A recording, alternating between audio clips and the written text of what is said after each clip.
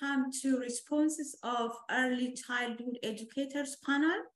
My name is Rode Molla. I'm assistant professor and uh, Berryman Family Chair for Children's Spirituality and Nurture at Virginia Theological Seminary. I will be moderating this panel discussion this morning, and we do have three panelists. Japjit Kaur Pnaiser, early years educator in the United Kingdom. Jane Mata McMahon, University of Maryland Professor of Early Childhood Education with a special interest in bilingual education. Michael Shire, Rabbi and Professor of Jewish Education at Hebrew College, Newton Center, Massachusetts, United States. And we do have an hour and a half for this panel and for main conversation ideas. We will try to use our time appropriately to open it up for public discussion but knowing that we will not be able to address all of the questions, I would encourage you to share your thoughts and questions in the chat so that we will take those ideas with us and continue the conversation in the classroom with peers and colleagues in the field. Now we are going to enter to the conversation. We will have four main conversation ideas. The first one will be about our expectation of early childhood educators. And the second conversation idea is going to be, what do they expect themselves, early child educators, what responsibilities and expectations they do have. And then we will discuss what empowers them and disempowers them. And finally, we will discuss, we will wrap up the conversation by discussing what kind of life-giving practices we can suggest for early childhood educators, for ourselves, so that they can feel empowered to do this work. So I would call for Jane. Jane, I would you to start the conversation by addressing the idea of what are our expectations of early childhood educators concerning children's spirituality and nurture. Sure. Good morning, everybody. I'm Jennifer Mata McMahon. Um, as the intro stated, I'm uh, an associate professor of early childhood education. I'm uh, located at um, the University of Maryland, Baltimore County, in Baltimore, Maryland, in the US. Um, and my interest in children's spirituality stems from a secular perspective. So um, we might have uh, despairing views in terms of what spirituality means and how it is supported or not uh, in, in early childhood. Um, but I am an, uh, a teacher educator and was formerly an early childhood educator and have worked in the classroom with children from uh, ages zero to eight before I became an academic and um, went into higher education. And so my line of research has focused on understanding how spirituality for children can be supported in the classroom by teacher educators, by early childhood educators. And even though traditionally in secular spaces in public schools, spirituality is not necessarily um, supported or even talked about, I believe that it could be the ideal place to support spirituality. I'm looking this way because I have my notes here on the other screen. Um, and want, I want to stay on topic. Um, but there are some hurdles in, in order to achieve that. And what I've found in my research is that there are three main components that in the US, early childhood teachers that are working in secular environments in public schools need to unpack and, and deconstruct their uh, understandings and notions of three main main constructs. Um, one is the separation of church and state and how we understand that uh, uh, that the part of our, our our constitution and how that limits or does not um, the possibility for teachers to support spirituality in the classroom. The second component that needs to be sort of deconstructed is how we understand child development. Um, typically, and when, when teachers go through teacher preparation programs, child development is taught in, in isolation. So the areas of development are taught as very um, individualized. And the stages through which children go through are very uh, are, are, honed in, in in that capacity. And um, the holistic lens of development is not necessarily explored not not to to exclude those who do but it traditionally um, is not necessarily viewed as with that lens um, and then the third aspect that needs to be addressed is the concept and the understanding of spirituality itself. Um, in my work, most, I would say 90% of the time, when I ask teachers and just adults um, in general what their spiritual background is, the default response is a question back asking, Do you mean my religious upbringing? Because there's a very close consideration between what we understand and how we define spirituality and what we understand or the framework that we have that we probably have been brought up in and culturally are surrounded by that that has um, the religious component. So there's a there's a very close association. So from from my experience if we address these three constructs and ways of understanding our, our environment, it's very much possible to support and nurture spirituality in the classroom, even if we're talking about secular um, environments, which is not the same hurdle that perhaps religious settings have in terms of supporting spirituality because it's it's it, it seems to me that in those kinds of settings it's a given. Um, but this can happen and it can happen it can begin to happen in teacher preparation programs where we're preparing teachers to understand development in a certain way where we can open conversations of exploring and unpacking our understanding and our construct of spirituality and differentiating it from our understanding and experience of whatever religious framework we have. And then understanding the nuances of the separation of church and state that truly do permit us to support spiritual beliefs, spiritual development in secular environments without you know crossing over to proselytizing or uh, giving preferential treatment to any one religious or spiritual view over the other, yet supporting it and, and opening spaces for it to be nourished. Um, so I think I'll stop there because I know there are other points of views, um, and I'm and I'm bringing in a very secular, um, a secular one. Thank you, Jen. Thank you so much for sharing your perspectives, especially in the secular context. Now, I would take this conversation to Michael. I want Rabbi Michael to uh, share your views mainly about what contexts. Jane addressed the secular one, but I want you to elaborate that. What contexts do we imagine early childhood educators operating or functioning in? So Jane already addressed the secular part, but I want you to broaden that, uh, addressing religion, it would be culture, other contexts where they are operating or functioning in their social location mainly. Thank you.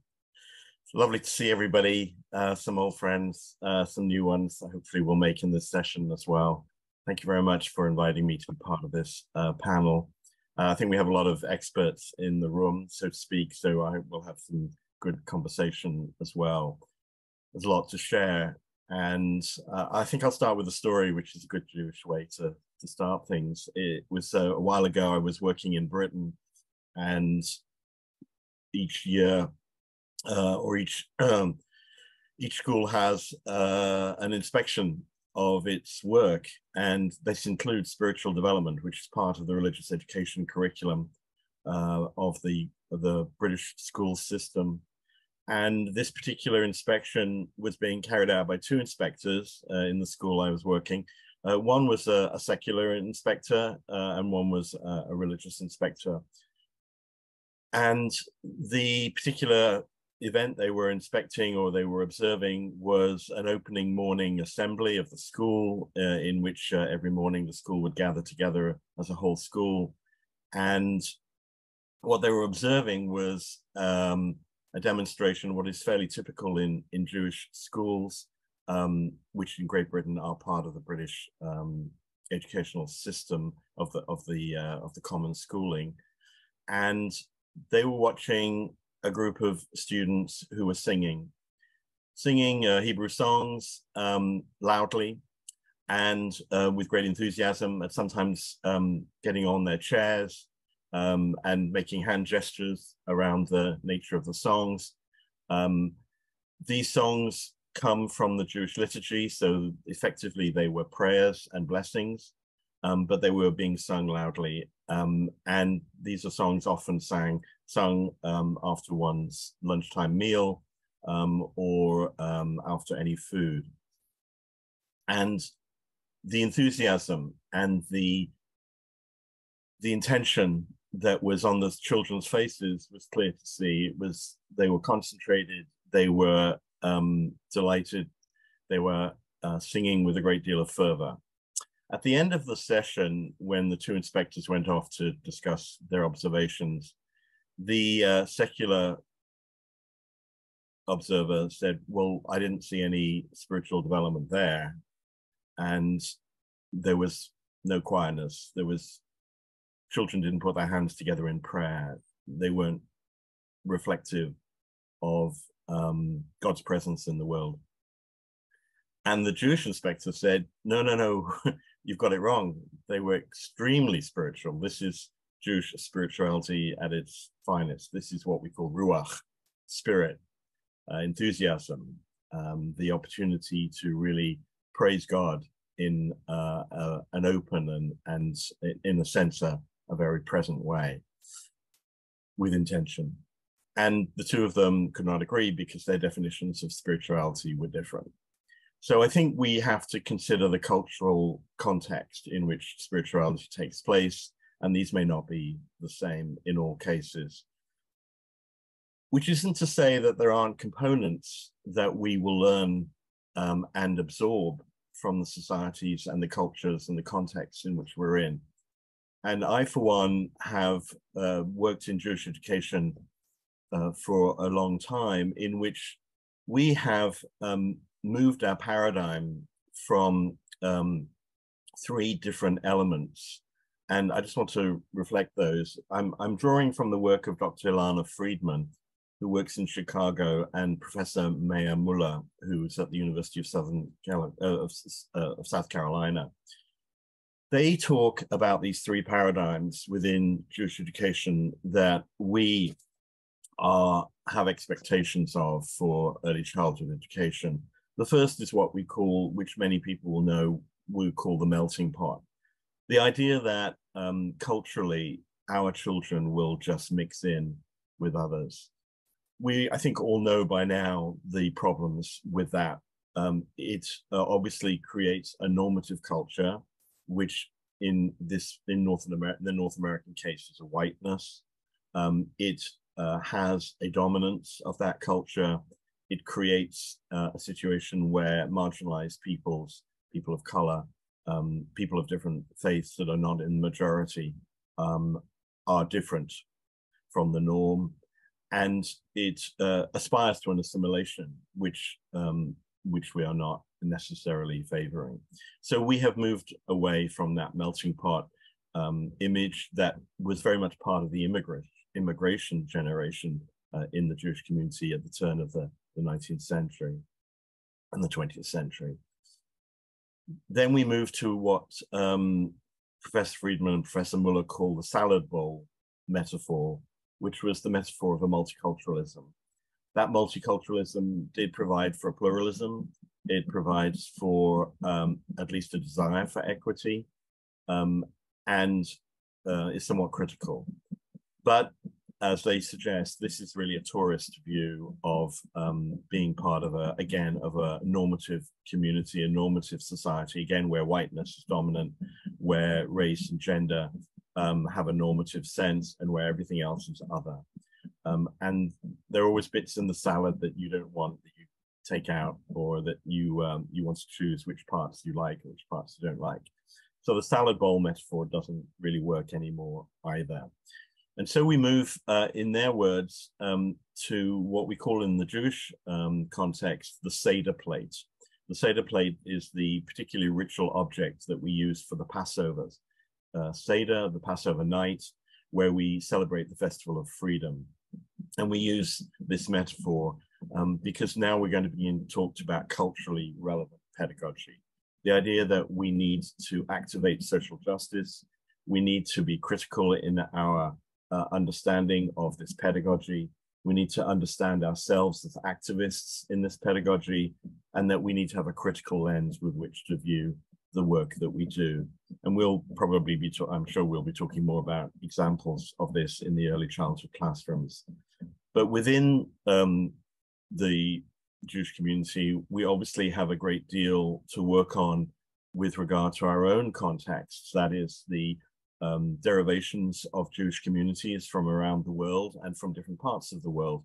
Jews of color, Jews of different genders and races, Jews um, of uh, Ashkenazi, that is Central Europe, and Jews of Sephardi, that is Southern Europe uh, ancestry, which is very different, both in terms of culture and context, um, as well as um, understanding the uh, the opportunity to have this critical view, this critical lens upon the pedagogy that we offer.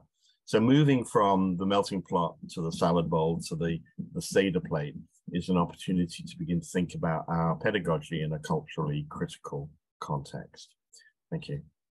Thank you, Rabbi Shire. So I would move uh, now to Japjit, Japjit and I would you to address how do socio-political realities, Rabbi Shire uh, touch some of the ideas, but I would you to elaborate that. How do socio-political realities such as race, gender, and class and cultural contexts affect our expectations and how do early childhood educators enact or do their work in the everyday? Hello, my name's Japjit and uh, I work in a Sikh nursery which is based in the United Kingdom and it's one of the first nurseries um, which is faith-based and we take a lot of the practices from the Sikh faith into um, how we educate the children and the kind of atmosphere that's created in order to serve the families um, and the children who attend the setting. One of the aspects that really stood out from my recent um, academic research is that there needs to be an acknowledgement of the intergenerational and the ancestral um, activity that has taken place um, with previous generations. So my, my grandparents who moved from India to Africa and my parents who moved from Africa to the United Kingdom. There were lots of intergenerational traumas and um, aspects of um, healing that was required um, on my from my point of view, for me to become an educator for the children who attend the setting. This required a level of understanding um, with the, the race of, with the faith that was practiced in, the, um, in India, as well as how the faith was practiced in Africa. So there's lots, lots of cultural aspects that are coming through from that. Um, there was a very solid link with um, the place of education and actually understanding how those socio-political um, contexts actually are um, delivered amongst third, fourth generation Sikhs. It's become apparent that children also need to have a healed educator who can actually change that practice um, amongst early years, early childhood, and be able to actually be nurtured in the in the early years environment that um, they are put in. Um, that's a lot to do with the educator themselves and actually the work that goes on behind the scenes um, to be able to express free, freely and be able to have that understanding of um, what is happening um, in early childhood. Thank you. Thank you so much, Japjit. Um, and I would return the conversation to Rabbi Shire, I want you to say a little more about, about religious commitment and historical experience of discrimination, how these kinds of realities shape you know, our expectations of early childhood educators.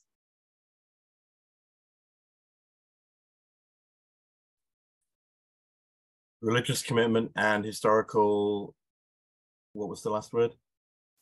Historical uh, experiences of discrimination right. uh, shape our expectation of early childhood educators.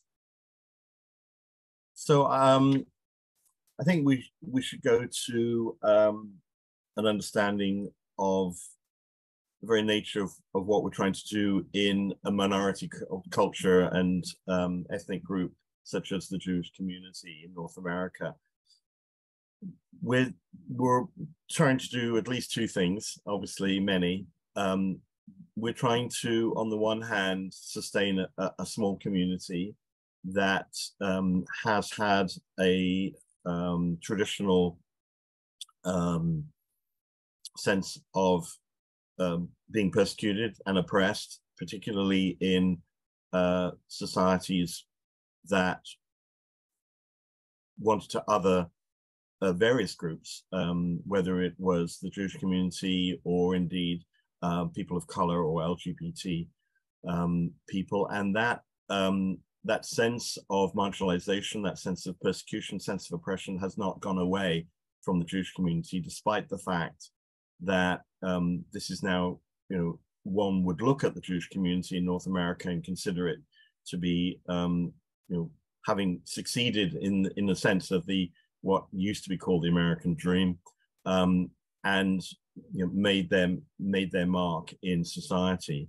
So that um, understanding of who we are is um, continues to uh, impose itself upon the very nature of what we think we need to do with the uh, generations that come after us in order to protect ourselves from any of those um, difficult circumstances that um, have been part of, uh, if we like to think about it, um, unfortunately, for over 3,000 years across the global world. And so it's not just obviously a North American phenomenon, but of course, recent growth and rise of anti-Semitism, indeed all uh, race hatred, um, and anti-Semitism is a race hatred. Um, it is a Jew hatred, and people are now uh, trying to prefer uh getting away from the term anti-Semitism, which nobody seems to know what it is. Uh, particularly uh, research done with young people who uh, define themselves as anti-racist um, you know, and anti-Semitic because that was kind of the way they understood the, the way the word worked. So um, we are beginning to use the word Jew hatred uh, as a way to express what is happening uh, in North America and um, also in other places around the world.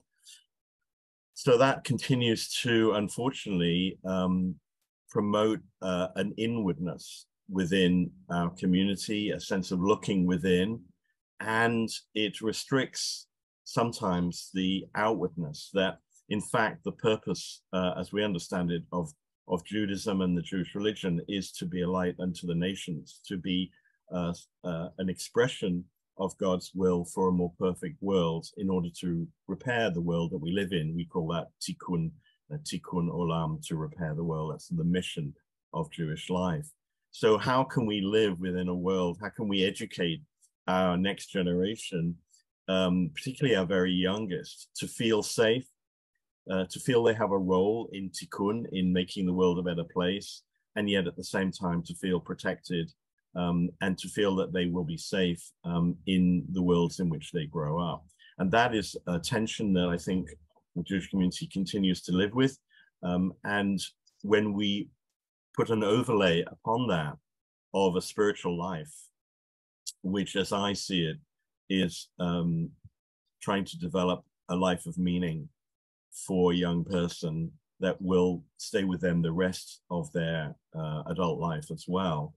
To use early childhood as a foundation for building uh, a search for a life of meaning, for seeking uh, to continue to ask those wondering questions about the big things in life that confront them and to feel that those questions are valid and worthwhile.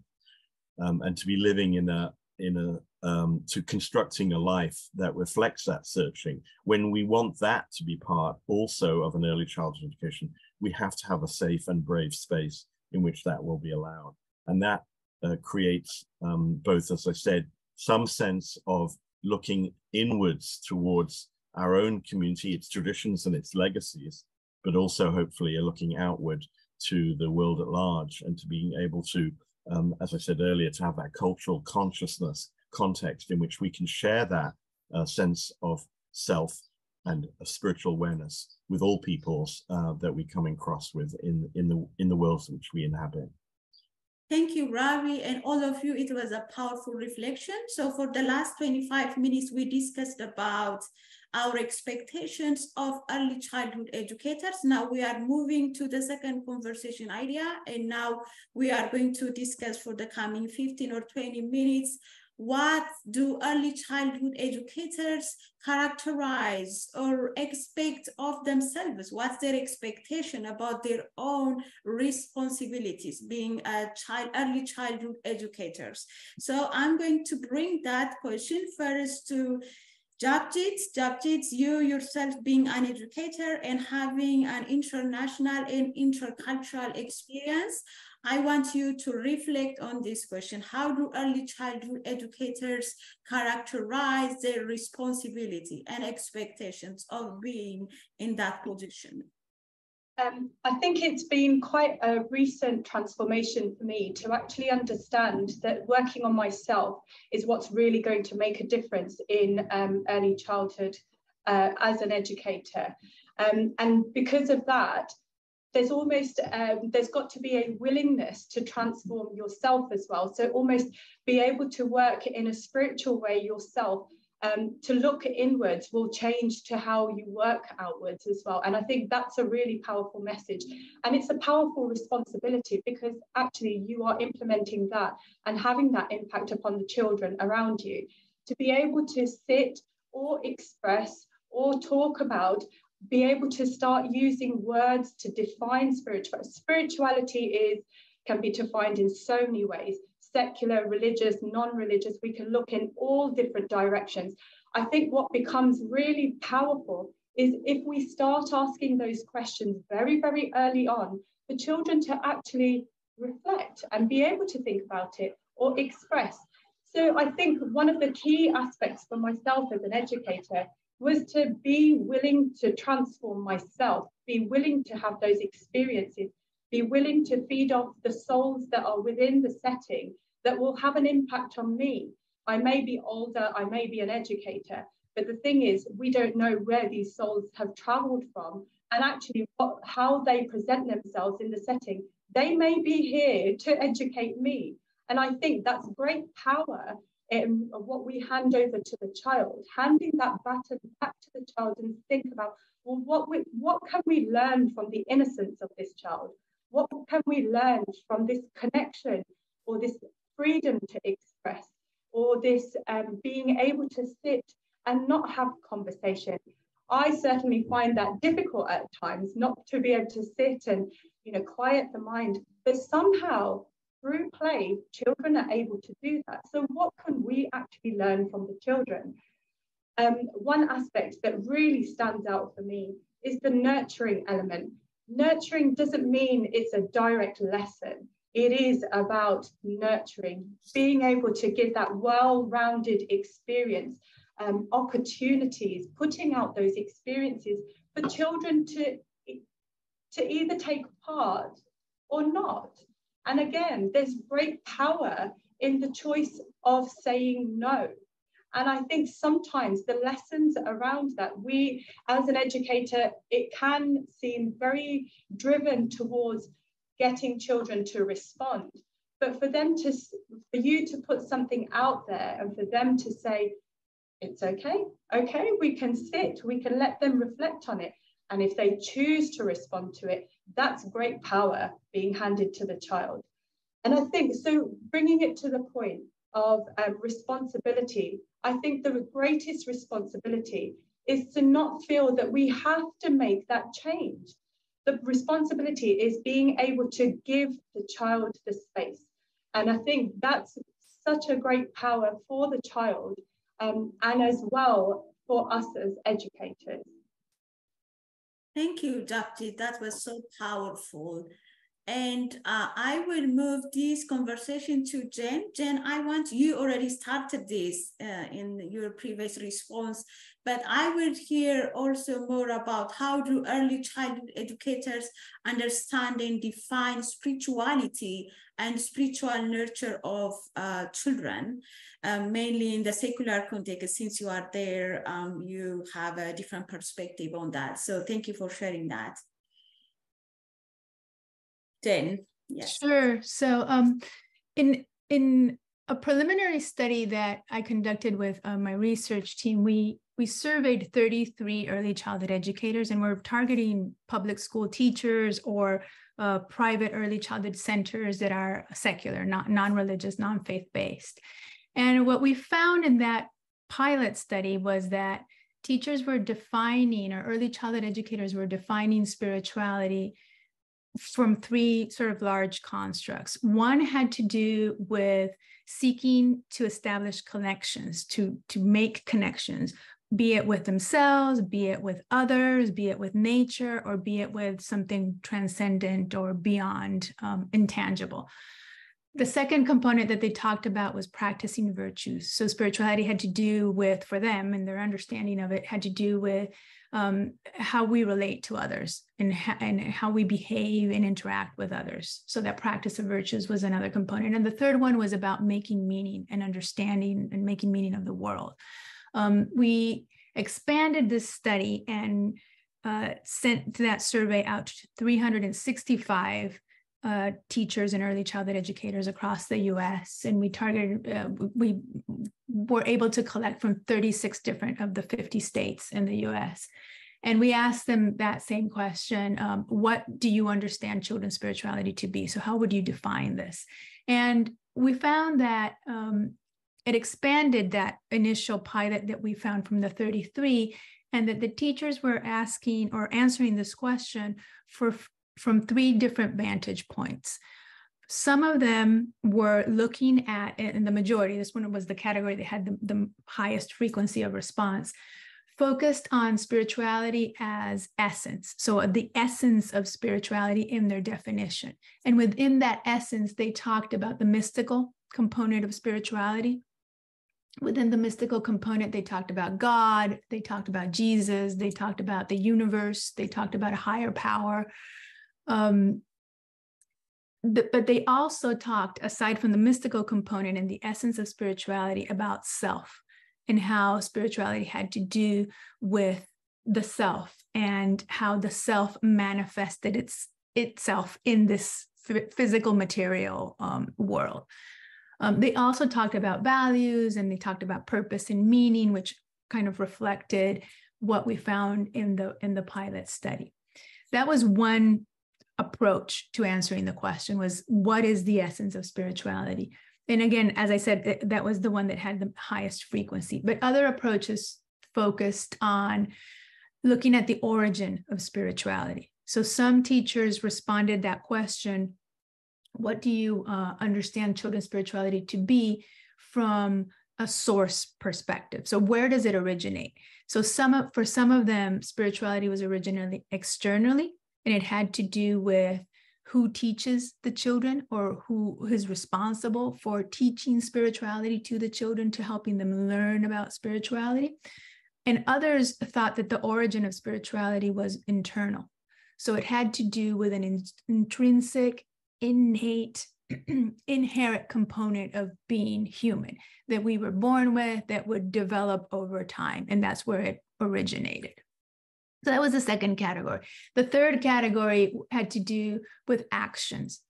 So going back to that uh, um, practicing virtues that we found in the pilot, these were the folks that thought that spirituality had to do with uh, the way that we behave towards others, the way that we enact, um, the the adherence to ethics and moral, uh, to to aspects of of good um, and right and wrong, kind of behaviors and that that reflected those kinds of behaviors reflected what they understood spirituality to be.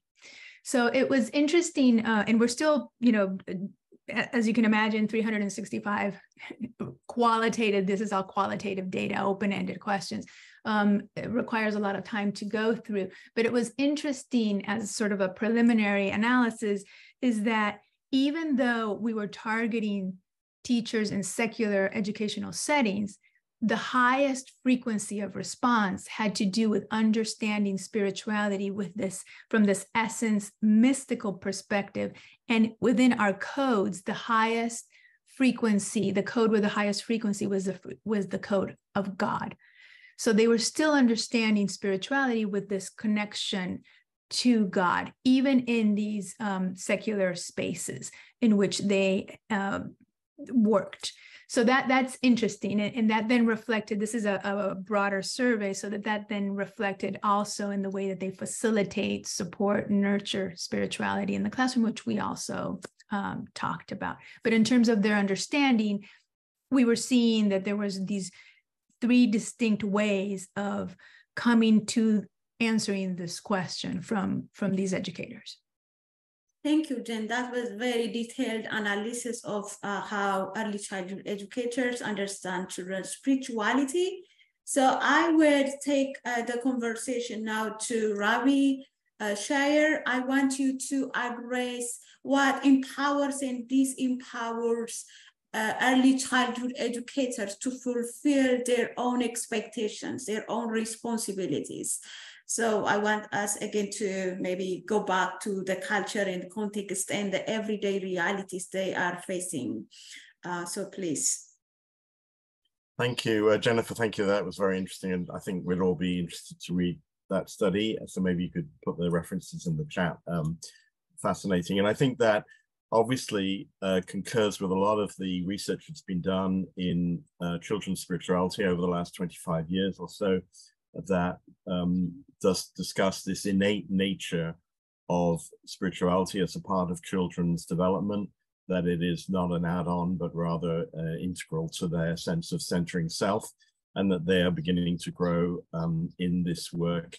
Uh, and we as pedagogy uh, experts need to understand what this work is and how to nurture it. Um, Japjit talked about nurturing and the importance of cultivating and nurturing this this very innate sense of what it means for children to come to a, a sense of knowing, uh, what you call essence, um, a sense of knowing in a in a different way from the knowing that we know other things. We have concentrated in the Western world on knowing skills, information, knowledge, um, and there is uh, another sense of knowing that we need to nurture as well, and that knowing is very present in early childhood it's a natural component of early childhood. Children will talk openly about their companionship with God, their friendship with God, their the the the sense of the mystery of life that accompanies them every day, the questions they have, the wonderings they have.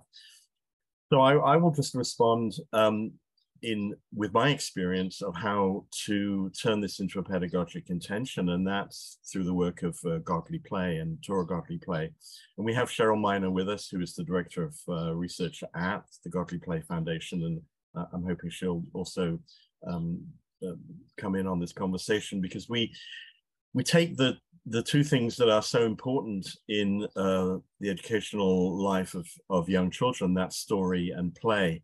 In fact, uh, I don't know if Lakeisha is still here. She was here earlier, but Lakeisha and I just spoke at an adult education institute, the Chautauqua Institute um, in northern New York, and we both spoke on the nature of play.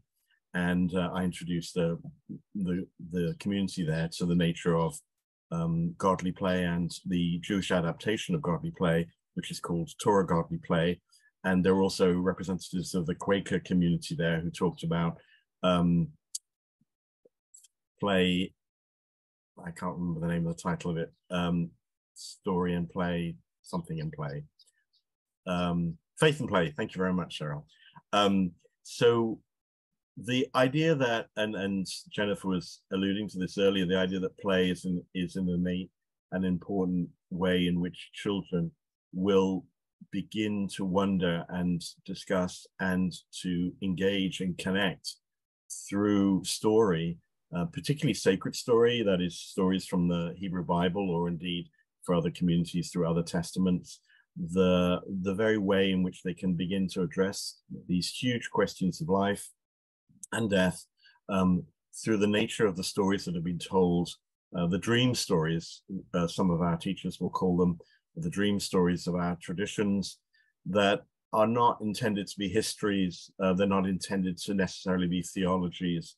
They are, they are in fact dream stories. They are part of our consciousness of certainly of the Western world, um, and that they have um, obviously informed and been absorbed into our cultures in, in such a huge way. So that everything you spoke about, uh, Jennifer, with regard to practicing virtues of uh, connecting, of making meaning, that all derives from um, the sacred stories that we have told over thousands of years. And those stories have been uh, part of um, our very identities as, as people um, who are inside a culture, inside a cultural context. And that for us includes a, a spiritual one. So engaging with those stories in such a deep, a close way, uh, Jewish tradition has a long history of um, close reading of the Hebrew text um, and a collaborative reading of the Hebrew text with a partner called a chavruta, uh, in the Aramaic word for partner. So we we read these texts in community. We read these texts together. These are not solitary readings, but rather readings in which shared meaning um, is a part of the very essence of trying to understand the meaning of this text and the meaning for the self um, that uh, Jennifer also talks about. So um, for those of you who are familiar with godly play will understand the power um, that comes from children working with story, and, and that's the Montessori word for play.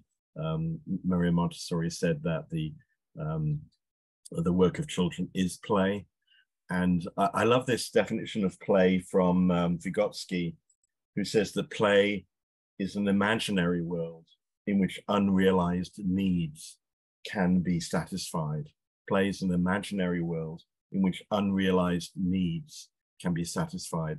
And that goes to the very heart, I think, of what spiritual searching is all about, that we can imagine ourselves in a world in which our, our needs uh, can be satisfied and we can work towards those, um, those worlds that we seek uh, for the future. And um, that includes a social justice agenda, includes the tikkun that I mentioned earlier, includes looking out um, at the world in which we're in and trying to repair some of those um, those things that are broken and teaching uh, at a very early age uh, from in early childhood how children can go about doing that within their own classroom context.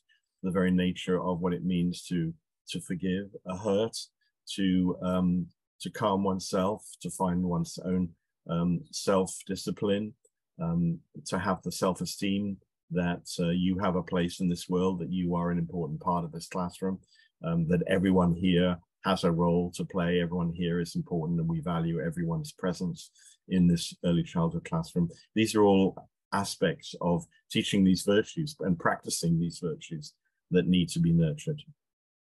Thank you. Thank you so much, Rabbi. And I would uh, take the conversation to Japjit. Japjit, I want you to again address how does a lack of opportunities for professional growth as yourself being an educator for, uh, for children uh, uh affect early childhood educators and their ability to be prosumers, consumers and producers at the same time in this work. Mostly early childhood educators are consumers. They don't you know produce and they don't share because they don't lack they lack uh, professional uh, development. So i want you to share that uh, using your lived experience and expertise in the field one aspect that really stood out for our setting is that we focused on a very original tradition that was used by, by our first prophet Guru Nanak Dev Ji, and that was using the traditional mu medium of music, which is known as Kirtan.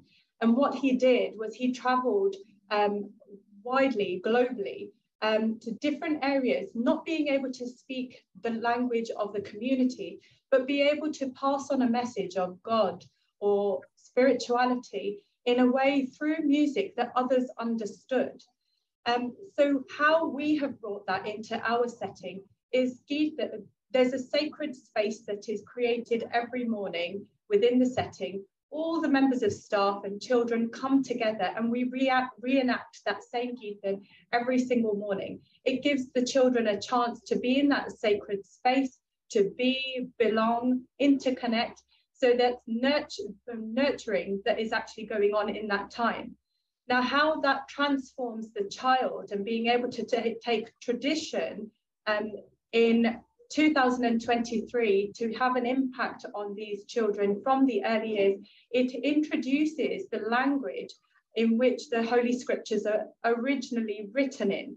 So rather than having to tap into other people to understand what the message of God is or what the message of spirituality is, it is actually putting children on that pathway to be able to discover, interpret, and understand themselves, which in itself is a, a very powerful position for the child to, uh, the journey for the child to be on.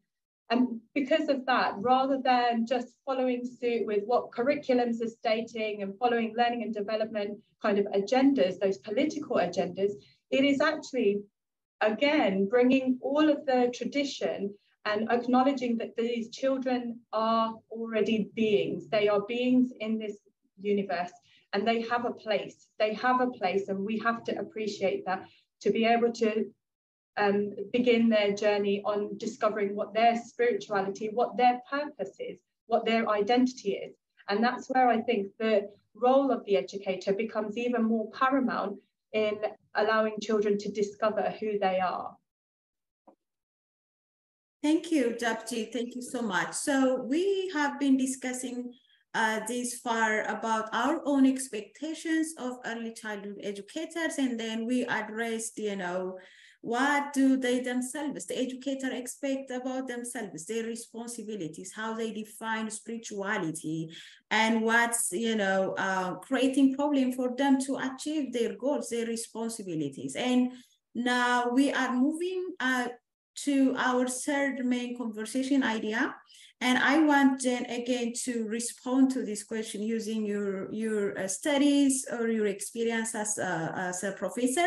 What encourages and impedes the fulfillment of these expectations, the expectations we have uh, for uh, early childhood education, educators, and also the expectation themselves, like early childhood educators have for their own responsibilities, uh, teaching uh, children, nurturing the spirituality of children. What are the issues that are encouraging and also impeding uh, these uh, realities?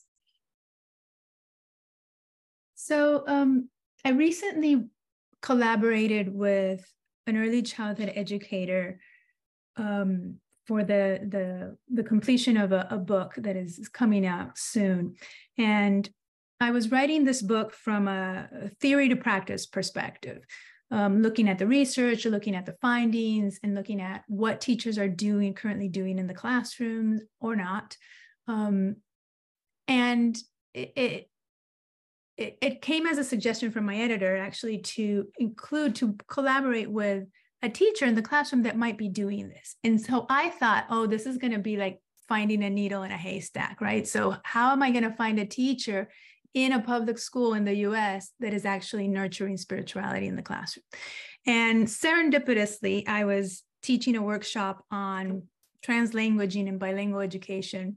It had nothing to do with spirituality, but in the introduction, of me as a speaker, they mentioned that my line of research was children's spirituality. So in the lunch break, a teacher that was in this workshop approaches me and says that she's really interested in this topic, that she is a Montessori trained certified teacher and she's working in a public school, which is one of our partner schools that we that we collaborate with. And reason why she was in this workshop and that she was really interested in my take on spirituality.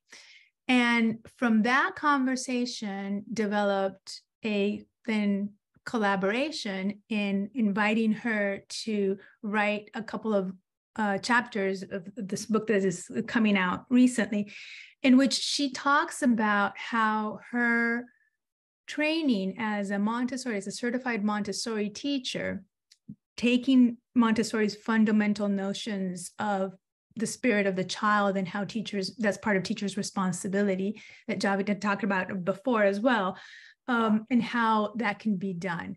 And how she then negotiated with her principal with the administrators of her school how she could continue to do that even though she was now teaching in a secular public school that was not necessarily a montessori um, charter school or that had any montessori philosophy attached to it. But because she had that philosophy and she had done um, like we were talking about before the internal work of giving it the of owning the responsibility as an educator of that was part of her mission in the classroom. She wanted to continue doing that although now she was in a different kind of school setting.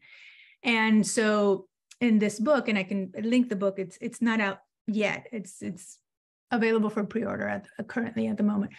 But in those chapters, she talks about how that training and that philosophical framework that she brings to the classroom informs now her pedagogy as an early childhood educator, and how that translates into specific activities, specific ways in, she, in which she weaves this into the curriculum, and how she facilitates that for the classroom. Yet, from my perspective as an outsider, I can see how that took considerable intentionality on her part to be able to do that, to negotiate that with the administrators in her building, to be able to then partner with her co-teachers to be able to facilitate that. And she talks in in those chapters in that book in the book about some of the the barriers, right? So because not everybody that she works with has her same philosophical approach to teaching um, and how then she nav- navigates those those um, conversations with her co-teachers that are in the classroom and how do they then address behavioral management for example? How do they give time and pauses for children to think and ponder? How do they approach how do we interact and relate to each other in the classroom? And then how did the teacher relates and uh, in their figure of authority in the classroom with the children. And it's really interesting to, to read about the lived experience of a teacher who's trying to and is nurturing spirituality in the classroom from that particular perspective of that theoretical Montessori framework. But uh, allowing the spirit of the child to be the guide in her pedagogical approach within the constraints of all of the requirements that public school teachers have in the US in meeting curriculum and meeting standards and having children you know be be assessed by standardized testing. And within all of those constraints still it is possible to do it. And it's really um, illuminating and, and, and gives us a lot of hope to see that teachers are finding ways to navigate those barriers or limitations and still support this in the classroom. Beyond you know their understanding of spirituality beyond their understanding of what i said before of the separation of church and state that sort of con- con- confines us here um, it's still possible doable and it is happening in the classroom Thank you, Jen. Thank you for sharing the possibility of um, being able to uh, actually fulfill these expectations. Sometimes it's hard to believe that, but uh, thank you for sharing that reality. So I will again bring back this conversation to Rabbi to you. I want you to address about diversity, how diverse contexts affect the realization of these expectations, you know, the possibility or the impossibility, and how diverse contexts or diversity is affecting that reality. I go back to a very important talk that Deborah Ball gave at the uh, 2018 AERA conference. I, I don't know if people um, have been able to pick that the definitive lecture up, but she talks about re-imaging the instructional triangle. Eh, all of our teachers have been taught the instructional triangle, um, student, teacher, uh, content, and that triangle that that operates on three on three angles, and we all we all know that very well. She and, and she was very much part of constructing that triangle in its original form. but in 2018, and this of course is just before um, the uh, issues that have arisen in the United States with regard to Black Lives Matter and to um, uh, to COVID, still she almost um, poignantly and um, with prescience uh, begins to talk about reimagining that instructional triangle in order to understand that we are not value neutral in our education, even with early childhood children. We're not value neutral. Education has a, an intentional aspect of cultural competence. And we have got to be aware um, of what we are doing when we are using the instructional triangle uh, to be pedagogues, to be teachers, because uh, she indicated there that the the very thought that the classroom is an enclosed and sterile environment in which we can just treat children to be nice to each other um, has long gone, and that we have got to understand this permeable membrane that takes place between what is happening in the childhood and the, the, the greater and the wider world outside of it. Um, and that that wider world informs who we are as teachers. It informs the very context in which the education is taking place. And the, of course, the responses and the attitudes that are coming from parents to children in the classroom. And she wanted us uh, at that time to be aware of what she calls both constraint and discretion in the life of the teacher to understand that constraints that what the teacher constrains herself to do and the discretion that she uses um, in her classroom really determines what kind of a classroom it will be. And um, Rode, you were asking me about diversity. As I said before, if we rely only on this kind of um, melting pot or salad bowl um, pedagogy, we will basically create a society in which whiteness is the normative um, and in which uh, Christianity will be normative um, and in which um, heterosexual men um, become the norm for uh, and the ideal for everyone to aspire to, which is, of course, completely um, incompatible and impossible. So I take the the work of Sims Bishop, who allows us to talk about windows and mirrors in particularly for early childhood children to understand that there are windows and mirrors and that the mirrors in our classrooms the mirrors that we use to look upon ourselves need to reflect everyone there everyone who's in that classroom whether you are in, my context whether you are a jew of color you are um, um, you have a neurodiverse um, approach to, to learning, you are LGBT identified, you have uh, a gender fluidity, whatever, and, and this will of course be present in early childhood these days as well, um, that whatever you're coming with, that that mirror reflects everyone who is with us and is part of us, and that we learn from the mirrors that are with us in the classroom. And we have got to be able to reflect um, that diversity within our, on our walls, um, with our pictures, with our graphics, uh, in our books that we use um, on our websites, um, and schools and early childhood centers need to be thinking uh, very carefully about the graphic images they are portraying and how those images uh, reflect the diversity. That is the mirror to to early childhood and to the lives of the children um, that reflect that. And of course, the windows then open up the worlds to the outside, who is not with us, whose voice is not in our room. Uh, maybe we don't have a wheelchair um, uh, child uh, who is um, who is bound to a wheelchair, but who um, is part of perhaps a wider world that we need to look at. What does that world look like for a child uh, in that particular case? How do we understand their world? What is the window through which we can look at to look at the world outside the world we inhabit. And so we have to understand that um, permeable membrane between the inner classroom and the outer world has got to be uh, very much part of our work as educators to develop that window as well. And um, Sims Bishop talks about the sliding glass door that you can turn a mirror into a window by opening the sliding glass door and walking out into the world. And we that's an ideal for us as educators.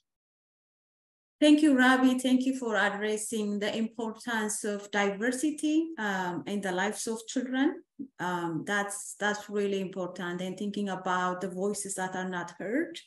Um, uh, mainly, you know, when we do children's spirituality, we think about the children we see every day in our classroom, but there are diverse voices. There is diversity even in that um, in that um, in, in those groups. So it's important to think about that. And thank you for addressing that.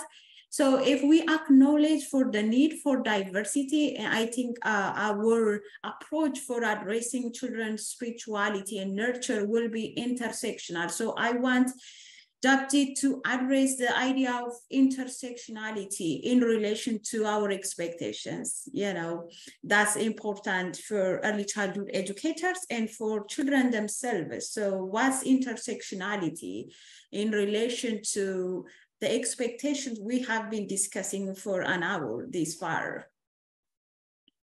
I think I'd like to just um, continue from the point that um, Rabbi Shire has just made about diversity we look at diversity, um, you know, in the wider context, um, you know, amongst wheelchair users, but actually one of the even community bases, communities have a fear of um, practicing or exploring spirituality because um, there, there is a non-acceptance of diverse uh, understanding of different concepts. And I think even within smaller communities, it's really important to accept diversity is present and actually expression of different uh, of their faith will be in different ways because that's how we will kind of avoid any kind of discrimination and any kind of um, issues that might arise within those communities. One of the frameworks that has been introduced in the United Kingdom is the um, spiritual, moral, moral, social, and cultural framework, which allows early childhood settings to be able to access um, religious education within their settings, but without the um, link to religion, so to speak. But it really gives a good stepping stone for us as educators to tap back into um, religious sources and be able to connect back to the diversity that's required for children and their experiences. Thank you, Japjit. Thank you. So Jane, I want you to uh, uh, say a little more you know, about this expectation. What does it mean to have this diverse perspective as a, in a community or as a society? And how does this impact children themselves? Uh, and at the same time, early childhood educators having a diverse community or intersectional perspective uh, impacts uh, children and their educators this social political reality. So I would you to address that uh, from a social political perspective. Well, that's a tall order, I think. Um, but I think uh, I, I want to go back to what Jap, Japjit, and uh, excuse me if I'm pronouncing, I'm mispronouncing your name, but said about um, letting the child lead. Um, we and, and and we can see in this room we're all adults here that are concerned with issues um, that pertain to children. Um, and when we are in rooms with children, we tend to be, you know, the, the, the responsible adult, the one that has the um, onerous responsibility to to get the tasks done or, or accomplish the, the deeds that we're here to do. Um, looking back at the instructional triangle to get that content delivered, right? To get the instructional, the learning process, teaching learning process going. And we're talking about educational context. Um, yet as early childhood educators, um, and it will it will depend on your teacher preparation program. But as early childhood educators that come from a social constructivist perspective um, we know that learning happens experientially um, through play through hands-on first-hand experiences and that those instructional experiences that are most impactful for children are those that reflect their interest, their curiosity, what drives them. And if as adults, we're not child centered in how we develop instruction. Um, it's my opinion that we're doing a disservice to the children and that we have so much to learn from their understanding and their vantage point of how they see the world around them. That if we were to put them first, put them, as we would say, in the driver's seat when we're talking about instructional uh, approaches um, and learning in, in educational environments, but also when we're trying to nurture the spirit and looking at the child from a holistic lens, consider them as a human being first um, with a soul. And giving them then that driver seat and taking their lead, we would be our, our job to be inclusive, to honor diversity, to have uh, not just tolerance, but complete inclusion and acceptance of all the differences that we bring in as human beings with different cultural and, and, and historical backgrounds would be so much easier if we took the lead from the children. Instead of coming us with this title of a, a responsible adult um, that is the one that knows how and is um, the ultimate uh, responsible for person for getting us where we want to go in in in this in an instructional uh, experience.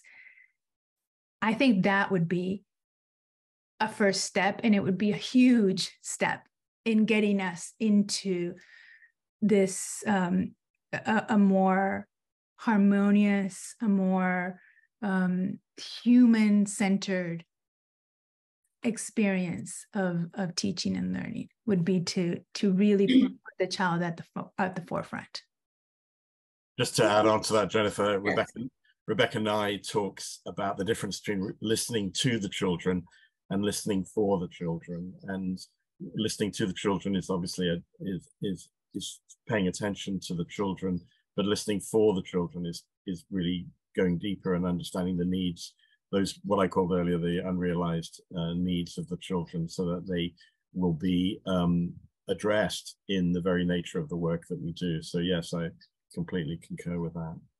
Thank you. Thank you both. Thank you, Jane, for saying we took the lead from the children. That was so powerful. Um, so we have been discussing almost, we have all, only 20 minutes left and we discussed our expectation of early childhood educators, and the expectation early childhood educators have for themselves. And we discuss what encourages and impedes this fulfillment is the, the expectations we have for early childhood educators. Now we are going to wrap up this conversation by discussing what positive approaches might you share for early childhood educators. Most of you raised idea of storytelling and godly play and uh, some of the traditions from the Jewish tradition. Uh, but I want you even to elaborate and discuss more on that. And Rabbi, you can start this conversation and I would give for Jane and Japjit, and then we will try to open it up to a public conversation. I'm, I'm happy to, um, I think I've said enough about my work, so I'm happy to hear from other people. Yes, Japjit? I think I've been in a really crucial position to be able to tap into the spirituality of the Sikh community that we serve in the United Kingdom. Um, I don't think it's been done. Um, it, I've looked at ideologies like godly play, sacred space, um, giving the voice and the authority to the child, and really bringing that into um, looking at it from a Sikh perspective looking at the traditions of the faith and being able to bring those traditions into um, the values and the virtues and the moral kind of um, development that we can provide the children with the type of experiences that help will help them to understand their sense of identity and purpose as well as their spirituality. So by bringing all of those traditions into the setting, not only does it have great power for the child, but it actually has great power for us as educators as well. And I think that's probably the key point for me to take away from today and listening to all the others as well. Thank you, Japjit. So Jane? I just want to echo some of the um, activities and some of the experiences that teachers have shared with us in in in using that instrument uh, that survey that then turned into a validated instrument teachers shared that they uh, the different things that they were doing to support and nurture spirituality in the classroom in the secular classroom um, we're offering mind breaks excuse me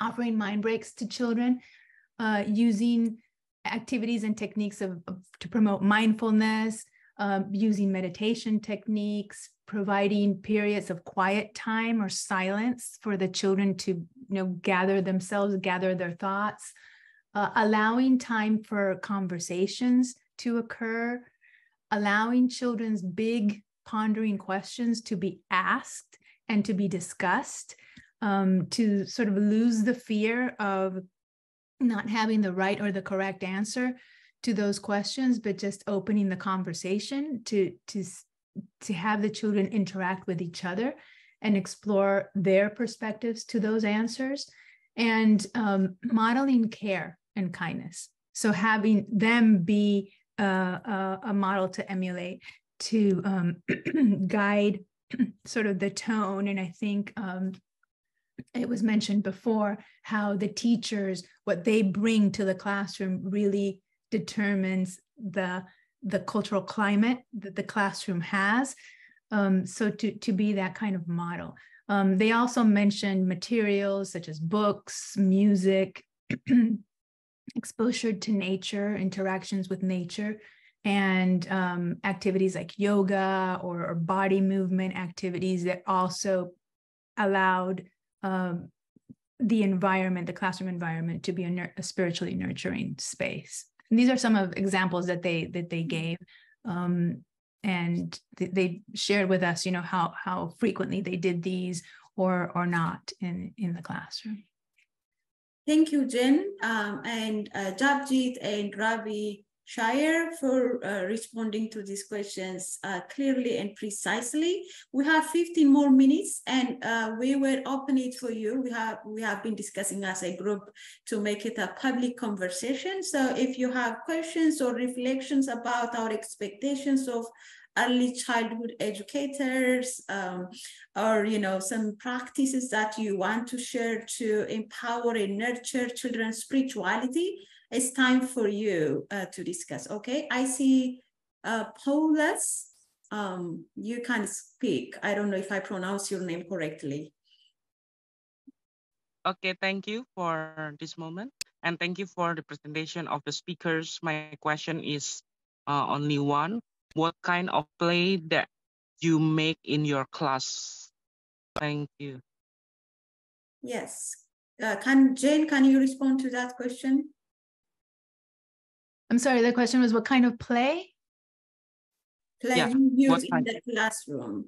What kind yeah. of um well any play that is child initiated is is what we consider play in early childhood education. Um so uh play when and, and this I'm going I'm pulling back to a class on play that I teach my students. Um but play when it's initiated, directed, or um, voluntarily um, imagined by children is the kind of play that we're that we're looking for. The teacher orchestrates so you're you're sort of the the prop manager behind the scenes that selects materials and sets up the classroom environment in a way that is appropriate for the age group that you're working with. But the children are the ones that come up with the ideas of how to interact with these materials.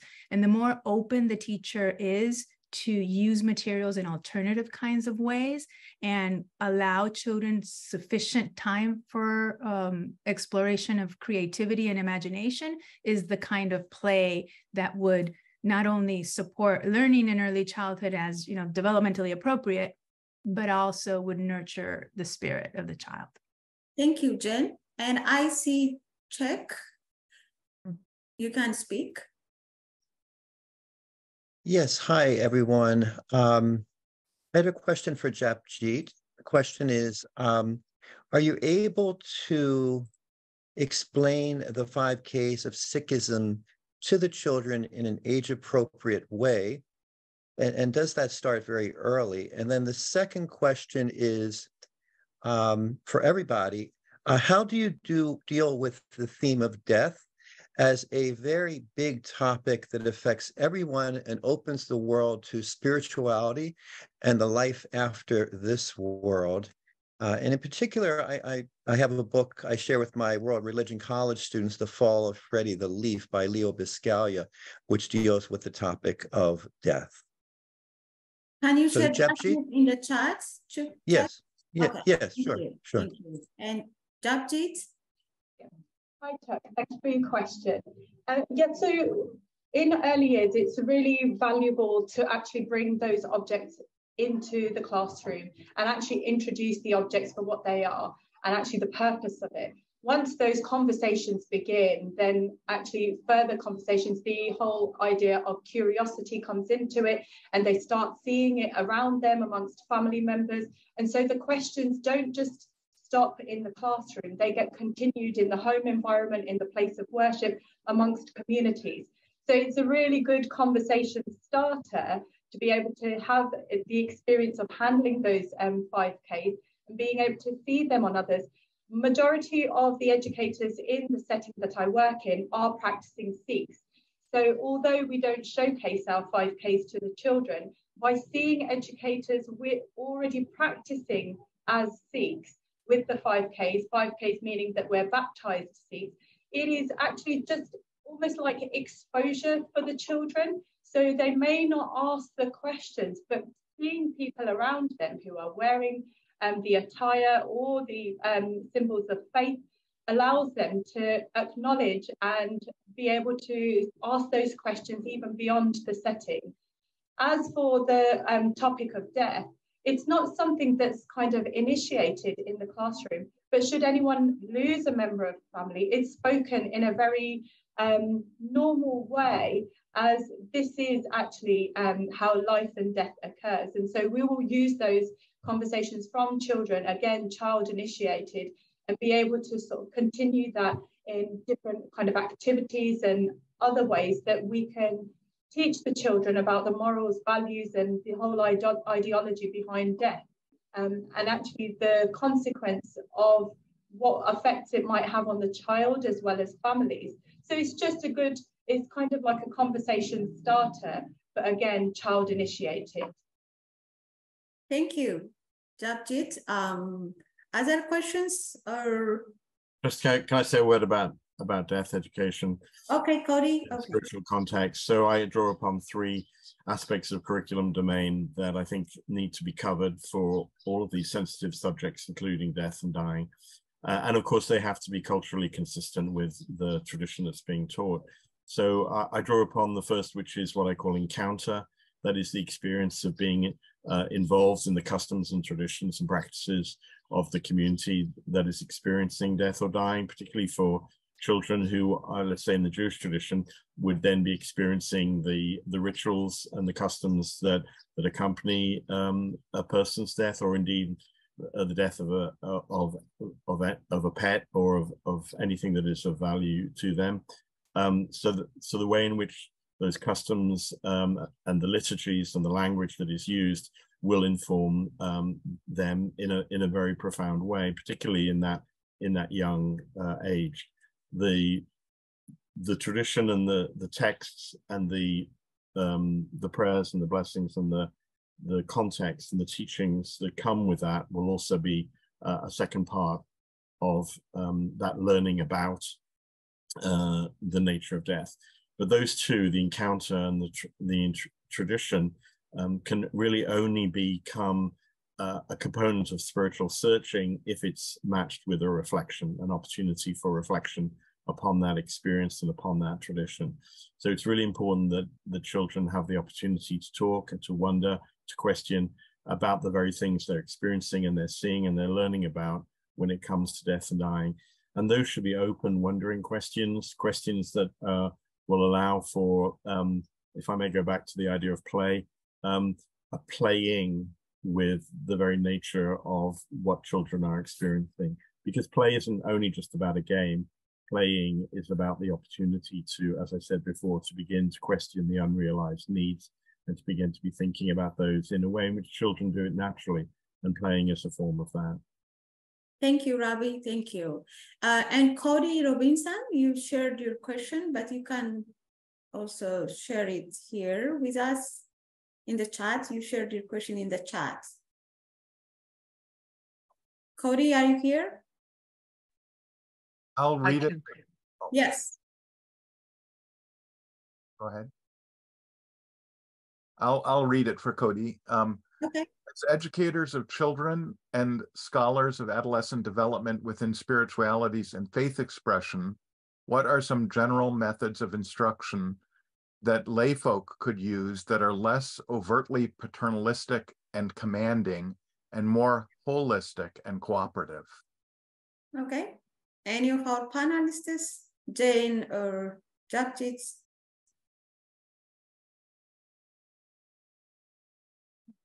Well, I, I, would say that all of the things that we've been talking about here um, would be less paternalistic and commanding. And um, but i think that the, the, the starting point is to embrace a holistic understanding of the child.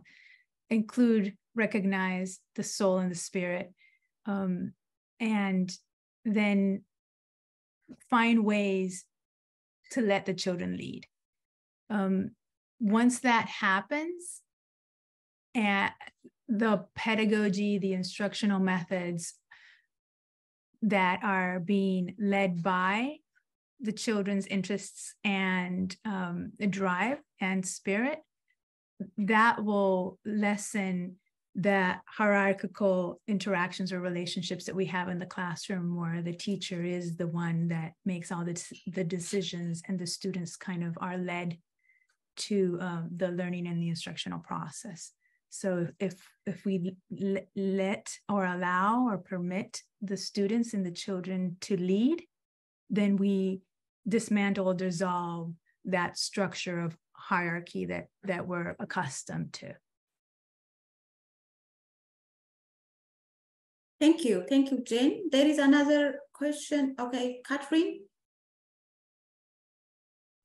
Uh, good morning. I'm I've worked with um, children for 42 years in religious education in a Montessori context, and where I found a lot of ownership is in children leading prayer, leading responses to disasters or you know deaths within the community or world events um, leading liturgies for the whole school. So these are skills we begin to teach them. How do we sing together?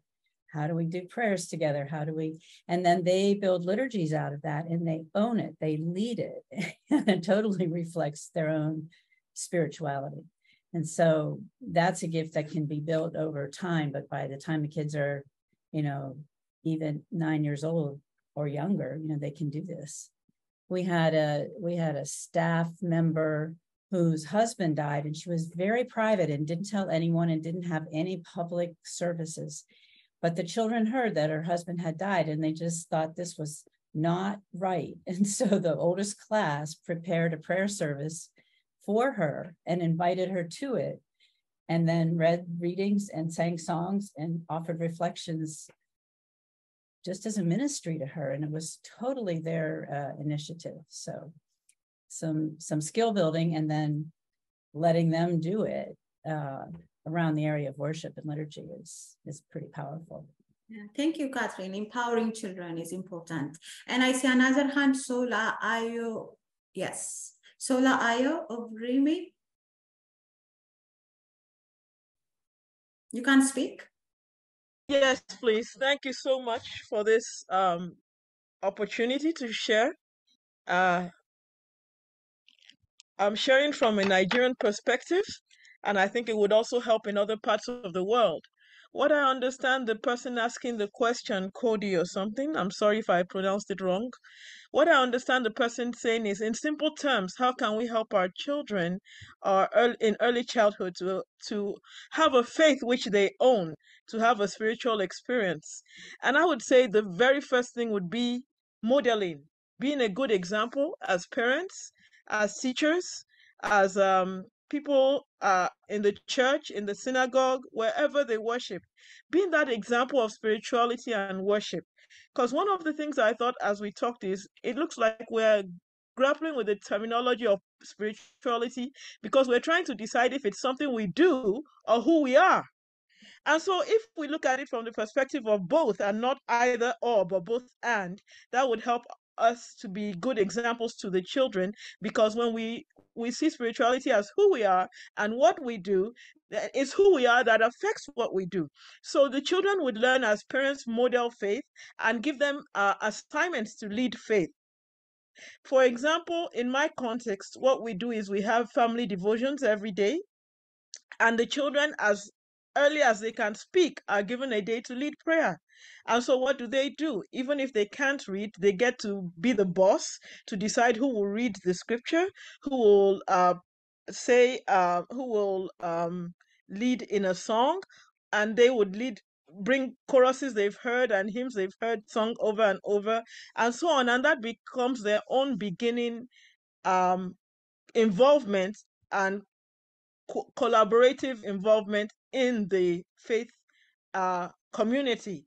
And so they not only respond, they're not there as receivers only, but they're also there as givers. So modeling and involving them from the very beginning, taking them along for everything we do in the worship, just like in the Old Testament, in the Torah, and in the um, Old Testament, in the Bible, where the faith community would take the children along. And I think in Islam too, they have something like that, where the children are taken along every time everything is happening. They are part of the whole process. So that's a very key thing, involving them and making sure they're there. And also uh, through repetition, through um, games that would help them to know um, the spiritual constructs and through um, books that we read to them and that picture books that they can look at. Those are just some of them. There are many more. Thank you. Thank you so much, Sola, and all of you for being here today. I want to say thank you, our panelists, Rabbi Shire, Japjit, and Jen. Thank you. So can we react for them using the reaction uh, button? We can clap or thumbs up. Thank you, everyone. It was so good to be here with you.